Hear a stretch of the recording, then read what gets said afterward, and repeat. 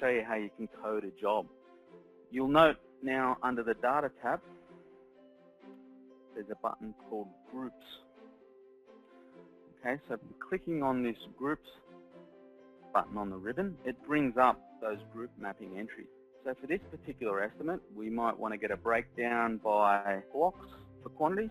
And we may want to get a breakdown by cost codes, or we might want to set up trade packages for our subcontractors. So I'll tick both those options on and click OK. And you'll see now it's added those columns to the estimate sheet. And if I right click and expand all here, you'll see these columns are, are throughout the estimate sheet. And because this block column was set up as a Q group coding, we also have a block column down in our calculation sheet. And because our cost code was a R group coding, we have the cost code in the uh, estimate sheet as well as our rate sheet. So what we can now do is go through and code our estimate. So if I double click in the cost code column, it'll bring up a list of all those entries that I was showing you through before.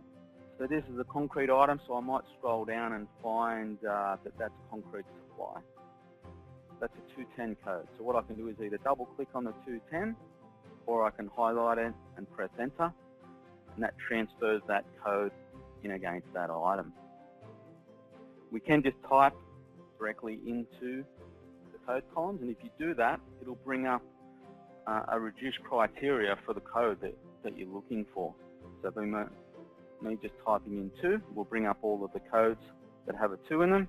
But because I go 210, it finds the one that I need. I can press enter to drop that in. Now we also have a composite rate here.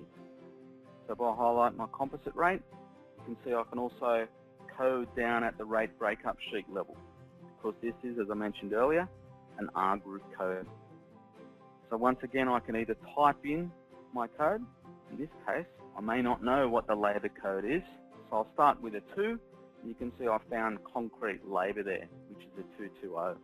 So I can continue to type in 220 or select it, double click, press enter. See that transfers that code in.